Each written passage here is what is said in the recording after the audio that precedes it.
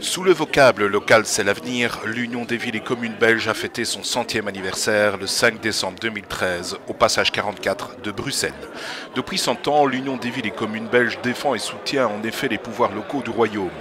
Il y a 20 ans, l'Union belge s'est en outre régionalisée et a donné naissance à trois associations régionales, la VVSG, la VCB et l'UVCW. Un double anniversaire donc qui a permis de célébrer une riche histoire commune mais aussi d'en esquisser le futur. La cérémonie, présentée par Annick Capel, journaliste à la RTBF, fut ainsi inaugurée par Anne-Marie Joritzma, coprésidente du Conseil des communes et régions d'Europe, par le biais d'une présentation audiovisuelle. Je crois que le rôle des conseillers a changé déjà beaucoup parce que la démocratie est développée. Euh, et je crois que dans le futur, ça, changera encore plus vite que nous ne pouvons pas croire aujourd'hui. Je crois que le maire, dans le futur, de plus en plus devient un vrai leader en anglais, euh, un guide, mais un leader qui, qui aussi euh, doit faire un bon exemple, doit être un exemple, doit prendre note des sentiments du peuple et aussi de changer les sentiments. Et c'est naturellement notre intention de faire un lobby très forte euh, dans la direction de la Commission et aussi dans la direction du Parlement. Parce que c'est là où on fait les lois européennes et c'est là où on peut influer aussi que le rôle des communes devient de plus en plus important. Du passé, du présent et de l'avenir local, il en fut également question avec les débats qui ont suivi au passage 44. Gerd Bourgeois, vice-ministre président du gouvernement flamand, et Luc Martens, président de la VVSG d'abord, Rudy Vervoort, ministre président de la région de Bruxelles-Capitale, et Marc Kohls, président de la VCB, ensuite. Quant au débat consacré à l'Union des villes et communes de Wallonie, il donnait la parole à Rudy Demotte, ministre président de la Wallonie et de la Fédération Wallonie-Bruxelles, Karl-Heinz Lamberts, ministre président de la communauté germanophone, et Jacques Gobert, président de l'UVCW. Ce pays est un pays qui s'est constitué euh, à partir de cette base fondamentale de la démocratie que sont euh, les entités locales. Les communes ont toujours été, euh, dans l'histoire de ce pays, un élément fondateur. Ce n'est pas un hasard que l'autonomie communale soit si jalousement disputée. Dans une municipalité, quand vous prenez une décision, vous bâtissez, vous voyez, et les choses vous apparaissent dans l'immédiat.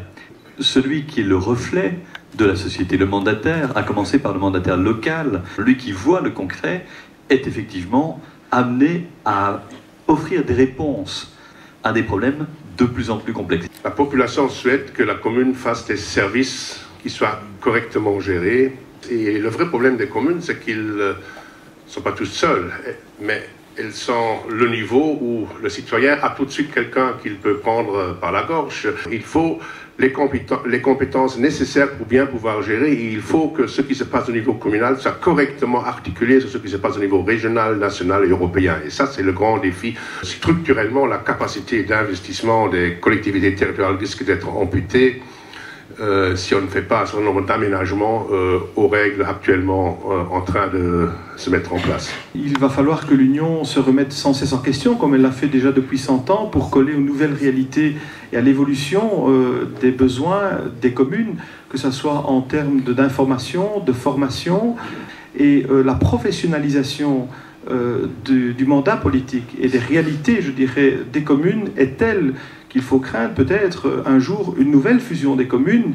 Et euh, l'une des raisons, effectivement, que ce modèle évolue, c'est que nous sommes de plus en plus le réceptacle de compétences issues d'autres niveaux de pouvoir, que la difficulté qui est la nôtre aujourd'hui, et peut-être qu'elle le sera d'autant plus demain, c'est véritablement euh, de, faire la synthèse entre les, aspirations euh, collectives et les exigences individuelles.